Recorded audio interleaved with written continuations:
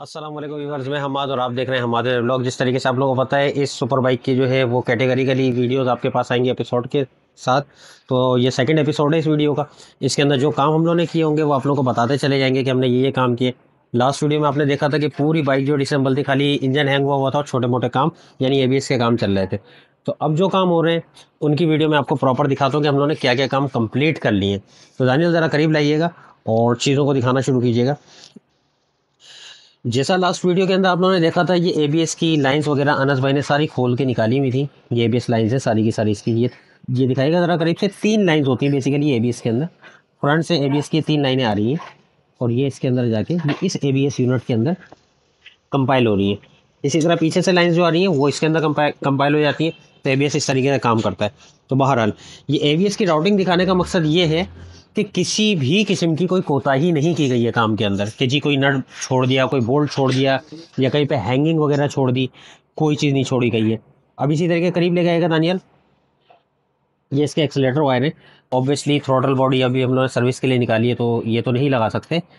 अब ये देखें वायरिंग किस तरीके से साफ़ सुथरे तरीके से यहाँ पे वायरिंग पहुँची हुई है। तो ये देखें जिस तरीके से ये वायरिंग वगैरह आप देख रहे हैं इसके अंदर कंप्लीट कर दी गई है पीयर सिस्टम इसका लगा दिया गया है, और ये वायरिंग देख रहे हैं आप कोई कट पीट किसी किस्म के ऑर्डनरी तार वगैरह आपको नहीं दिखेंगे। बंच टू बंच वायरिंग है। और करीब ज़रा से दानियल दिखाइएगा। मिसाल के तौर पर एक एक सेंसर वगैरह इसका जैसे मैप सेंसर है, जो लोकेशन है, उसी लोकेशन पर हम लोग डिसम्बली के बाद जब असम्बल करते हैं तो हर एक चीज़ को उसी लोकेशन पे लगाते हैं। ऐसा नहीं है कि इसको निकाला जी, और ये मतलब इसमें फिट नहीं हुआ था और यहाँ पे ऐसे फेंक दिया। ये पट्टी नहीं मिल रही या बोल्ड नहीं मिल रहा तो ये वाले काम हम लोग नहीं करते। एक एक चीज़ को अपनी प्रॉपर लोकेशन के ऊपर लगाते हैं। एक चीज़ मैं आपको दिखाना चाह रहा था, एक सेकेंड तो ये मैं दिखाना चाह रहा था, देखें, इसको भी जिस तरीके से आपको लास्ट टाइम मैंने बताया था कि ये पूरा फ्रेम जो हम लोगों ने पाउडर कोट किया है तो इसको भी हम लोगों ने पाउडर कोटिंग ही करवाई है, ठीक है? ऐसा नहीं है कि इसको पेंट करवाओ। ये माशाल्लाह से बाइक अप्रॉक्सीमेटली तकरीबन ये पाउडर कोट ही हुआ हुआ है। तो इसकी क्वालिटी दिखाएगा दानियल ज़रा।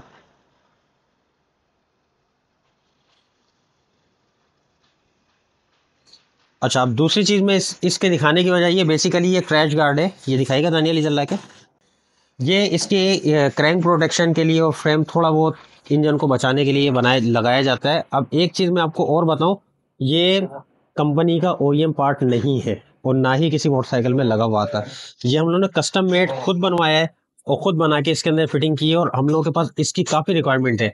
ये काफ़ी लोगों को हम लोगों ने, काफ़ी ब्रांडेड्स में जो आपने बने हुए और लगे हुए देखे हैं पाकिस्तान के अंदर तकरीबन मैं ये कह सकता हूँ फिफ्टी परसेंट हमारे पास फिफ्टी नहीं सेवेंटी परसेंट हमारे पास से ये तैयार होके जाते और ये बहुत अच्छी चीज़ है, अगर आप बैंडिट ऑन करते हैं, बारह सौ पचास, बारह सौ बारह सौ एस तो बिल्कुल इस चीज़ का इस्तेमाल करें, इससे आपके क्रैंक की प्रोटेक्शन अच्छी खासी हो जाती है। बहुत हाई क्वालिटी मटेरियल है ये, ठीक है? तो अब आ जाए मज़ीद वायरिंग में आपको दिखाता चलूँ कि कहाँ तक के काम कंप्लीट हो चुका हमारा। जो आपको मैंने एक्चुअल लोकेशन बताई थी बिल्कुल उसी लोकेशन के ऊपर हमारा ई e जो है फिट हो चुका है। यहाँ पे डबल साइडेड टेप लगाई जाएँगी और इसको फिट कर दिया जाएगा और यहाँ पे एक रबर आती है जो इसको हैंग कर देती है। ठीक है? बाकी अंदर की वायरिंग में आपको दिखाता चलूँ। जिस तरीके से कोई कटपीट किसी तरीके की नहीं है वायरिंग के अंदर। खाली यहाँ पे हमने खाली बैटरी बॉक्स लगाना है। बैटरी लगानी है और इस बाइक को स्टार्ट करना है।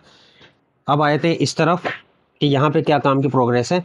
तो ये इसके कॉइल्स पड़े हुए ये हम लोगों ने खुद निकाले हुए क्योंकि जब थोडल बॉडी खोली तो सोचा प्लग्स भी इसके साफ़ किए जाएँ चेंज किए जाएँ।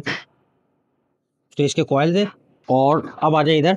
ये पूरा वायरिंग का मन जो है, ये रेक्टिफायर यूनिट के अंदर जो आ रहा है, और रेक्टिफायर यूनिट यानी इसको आम अल्फाजों में चार्जर बोला जाता है, लेकिन बेसिकली ये रेक्टिफायर यूनिट है चार्जिंग के काम आता है, और ये इसका फ्यूज़ बॉक्स है। ये दिखाइएगा दानी एक एक चीज़ अपनी प्रॉपर जगह पे है, अपने प्रॉपर क्लिप्स के अंदर है, अपनी टाइस के साथ बैंड हुई हुई है ये।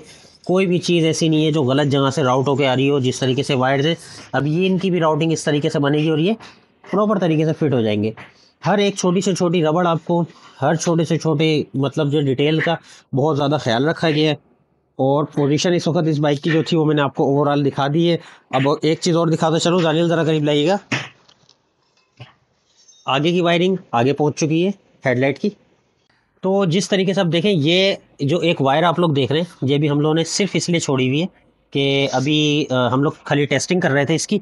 ये इस तरीके से इसके अंदर क्लिप ऑन हो जाएगी और क्लिप होने के बाद ये पूरी की पूरी राउंडिंग क्योंकि हम लोग अभी इसका एबीएस ब्लीडिंग वगैरह कर रहे थे और एबीएस का काम कर रहे थे। चेक लाइट आ रही थी ए की तो उसको तैयार करेंगे प्रॉपर ब्लीड हो जाएगा। उसके बाद जो है, ये ब्रेक के, जो है इसका कंपाइल होकर चलना शुरू कर देगा। और आगे की तरफ़ चले, चलते हैं। उस वक्त आप लोगों को ये रिजर्वायर कैब जो ये तो दिख रहे थे लेकिन इनके ना फ्लूड नहीं थे। अब माशाल्लाह से इनके ना फ्लूड मौजूद है। ये आपका ब्रेक आ गया ये आपका क्लच आ गया। तो बाकी आप लोगों ने वायरिंग की राउटिंग्स वगैरह सारी सारी देख ली। अब हम लोग इसके ऊपर टेल फिट कर रहे हैं। तो टेल भी आपको एक नज़र दिखाए थे। और टेल लगने के बाद इसकी खूबसूरती देखेगा। मोटरसाइकिल की कैसी आती है। तो थोड़ा सा लेकिन। ये है कि लुक एक हमारे व्यूवर्स को दिख जाए कि किस तरीके से इसके ऊपर हाँ ठीक है। ये फिट हो गया। दानियल सर आप करीब लेकर आइएगा थोड़ा सा इसको। ये जो आप लोग स्टिकर्स देख रहे हैं, ये स्टिकर हम लोगों ने ख़ुद जो है वो कस्टमाइज़ करा के बनवाए और ये मेरे ख्याल से आज तक के आप लोगों ने किसी भी बाइक के ऊपर लगे हुए नहीं देखे होंगे। और यहाँ पे इसका ग्रैप बार आता है। तो ग्रैब बार लग जाएगा। इसी तरीके छोटी छोटी चीज़ें यहाँ के रबर्स हो गए यहाँ पे पूरा टैंक्स का वो जो ब्रैकेट होता है वो आएगा। ये सारी छोटी छोटी चीज़ें बा, बाकी हैं। एक चीज़ मैं आप लोगों को और दिखाना चाहता था इस वाली साइड के ऊपर जैसे कि ये सारे पाइप्स वगैरह तो इधर कर देते हैं। ये एग्जॉस्ट सिस्टम जो है कंप्लीट जो है वो हम लोगों ने इसके अंदर फिटिंग कर दी है। मैं इसको प्रॉपर वीडियो को दिखाने का मकसद सिर्फ़ ये है कि देखें हम लोग डिटेल्स के ऊपर किस तरीके से काम कर रहे हैं। दानियल देखिएगा ये एक एक रबड़ इनको दिखाएँ हमारे व्यूवर्स को। कि किसी चीज़ की कोई कमी नहीं है कि जी ऐसे हमने जी को, बाइक को डिसम्बल किया और असम्बल करना शुरू कर दिया जी, नहीं। हम लोग इतना डिटेल का ख्याल रखते हैं कि थोड़ा सा और नीचे दानियल लेकर आइएगा। अगर ये कंपनी से बोल्ट जो है, हमारे ये वाले बोल्ट जो हैं जो ग्लोनाइज आते हैं ना तो ये ग्लोनाइज ही होंगे। ये बोल्ट अगर स्मोक में आ रहे हैं तो ये स्मोक ही होंगे। एक एक चीज़ का ख्याल रखा जाता है और हम लोग एक एक चीज़ को टॉप टाइट कर रहे होते हैं। बहरहाल, ये आप लोगों ने जब निकला हुआ देखा था, पूरा exhaust system four runner exhaust बोलते हैं, अक्सर लोगों को इसका नाम नहीं पता। डिकैट हुआ हुआ होता है ये। इसके अंदर ओ सेंसर का मसला था, जो उस साइड से दानियल अगर दिखा सके तो उसको निकालना बहुत मुश्किल हो गया था हम लोगों के लिए। लेकिन वो भी हम लोगों ने निकाल के, अल्हम्दुलिल्लाह अल्हम्दुलिल्लाह, उसको हमने लगा दिया है ओ सेंसर को। दानियल, नीचे करके दिखाइएगा।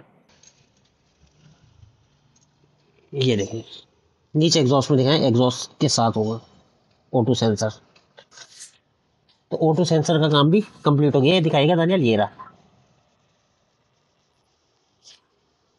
ठीक है? इसकी वायरिंग भी बिल्कुल तरीके से प्रॉपर थ्रू आउट राउटिंग यहाँ से होती भी आएगी। इसी तरीके से इसके ब्रेक ये जो इसका स्टैंड की वायरिंग भी देखें थ्रू आउट राउटिंग जो ओ में वही आएगी। अभी यहाँ पे थोड़े से क्लिप्स हो जाएँगे और नज़र भी नहीं आएगी। एक चीज़ और बताता चलो सुजुकी के मोटरसाइकिल्स के अंदर, और बाकी कवासाकी वगैरह में नहीं होता ये ये चीज़ मैं आपको दिखाना चाहूँगा। दिखाएगा दानियल ज़रा सा? ये जो आप स्विच देख रहे हैं, ये दिखाने की वजह, ये स्विच को गौर से दिखाइएगा। ये जो स्विच आप देख रहे हैं, जब ये स्टैंड उठेगा तभी आपकी बाइक जो है, वो स्टार्ट होगी। अदरवाइज़ अगर ये नीचे रहेगा तो कभी भी बाइक आपकी स्टार्ट नहीं होगी। ये बहुत अच्छा सेफ्टी एंड सिक्योरिटी फीचर है। कभी खुदा ना खास्ता आप लोगों के पास सुजुकी मोटरसाइकिल है और ये इस तरीके से आपका स्टैंड फंस जाता है जैम होने की ऐसा बाइक ना स्टार्ट हो रहा हो तो आपने बिल्कुल परेशान नहीं होना। दो चार चीज़ों को आपने बहुत गौर से देखना है। वो आज मैं आपको टिप भी दे देता हूँ।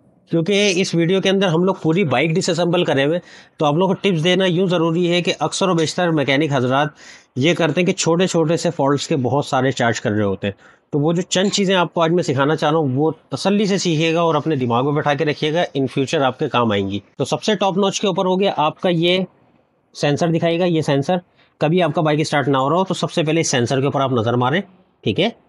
ये सेंसर अगर आपका ख़राब हो जाए, या दब ना रहा हो, या आपका स्टैंड यहाँ पे आके रुक गया और उससे टच ना हो रहा हो, ये देखें, ये आराम से देखिएगा, ये कैसे अंदर गया? जब ये अंदर गया तो आपका बाइक स्टार्ट हो गया। बाहर आ गया, अब ये बाइक स्टार्ट नहीं होगा। और दूसरा प्रॉब्लम, स्टार्टिंग ना होने का, ऊपर लेकर आइएगा। उसी सेंसर से, ये सारी वायरिंग से कंपाइल होके, जो वायरिंग हमारी ये राउटिंग जा रही है, इससे ऐसे करके, ये एक वायरिंग दिखाइएगा, दानियल, इधर लेकर आइएगा। ये वायरिंग आ रही होती है इस तरीके से क्लच के अंदर, ठीक है? और इसके अंदर क्लच के अंदर एक आपके सेंसर लगा होता है इस जगह के ऊपर कि जब आप क्लच दबाते हैं तो आपका बाइक जो है स्टार्ट हो रहा होता है। ये सुजुकी मोटरसाइकिल्स के अंदर ज़्यादा होता है और ये एक सेफ्टी फीचर भी है। तो कभी भी आपका बाइक इन केस स्टार्ट नहीं हो रहा या कोई प्रॉब्लम हो रहा है लॉन्ग सेल्फ ले रहा है और स्टार्ट नहीं हो पा रहा तो सबसे पहले आपने एक काम करना है, उस साइड के दिखाइएगा क्लच के ऊपर।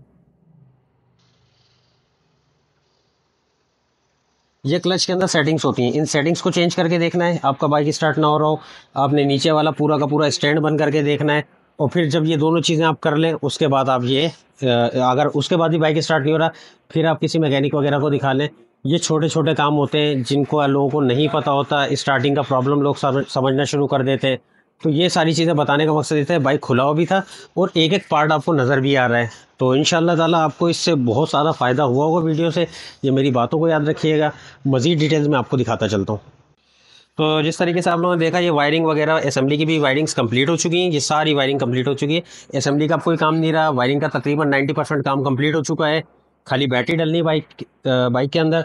तो जिस जिस तरीके से चीज़ें इसके अंदर हम लोग करते रहेंगे, आप लोगों को दिखाते रहेंगे और इन ये इसी वीक के अंदर बाइक तैयार हो जाएगी। और तकरीबन मेरा एक अंदाज़ा है कि तकरीबन तकरीबन आप लोगों को इसके चार से पाँच एपिसोड जो है वो मिलेंगे। तो बहरहाल, जितने बनते हैं, उतने आप लोग देख लीजिएगा। तो नेक्स्ट वीडियो में मुलाकात होती है, जब तक के लिए इजाज़त दीजिएगा, अल्लाह हाफिज़।